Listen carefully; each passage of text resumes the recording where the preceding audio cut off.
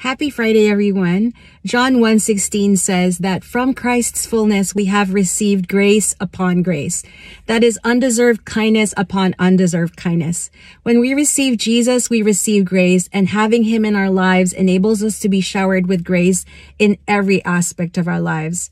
The book of Judges in the Bible shows the direction of a nation that does not have God. In those days, Israel had no king and everyone did as they saw fit. Judges 21.25. The Bible calls this sin, when we do as we please without considering him.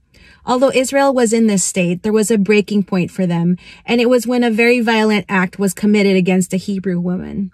It was despicable to the point that they went to war against the tribe that had committed the crime. And it was a tribe of Benjamin who also had fierce warriors. This time, Israel sought the Lord, and he gave them the go-ahead to fight Benjamin. On the first day, they lost 22,000 men, so they went back to God and cried to him. God said, keep fighting. On the second day, they lost 18,000 men. They cried to the Lord and he said, keep fighting. They obeyed God and on the third day, they were able to defeat Benjamin. However, they loved Benjamin as one of their tribes and didn't want this tribe eradicated. So they cried out to God again. They wanted to make sure there were women that they could marry so that the tribe wouldn't die out. And God was able to help them to figure out a way to do that.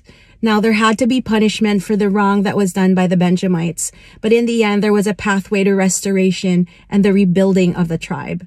Romans 5:20 to 21 says the same thing in a slightly different way. It says where sin increased, grace increased all the more, so that just as sin reigned in death, so also grace might reign through righteousness to bring eternal life through Christ Jesus our Lord. Sin has caused us to lose our connection to God, but Jesus paid the penalty of our sin. So now we don't have to be separated from God no longer. Let's bring our sins to God and ask him to forgive us and restore us and give us grace upon grace through the blessing of Jesus and having him in our lives. God bless you and let's keep praying for our world.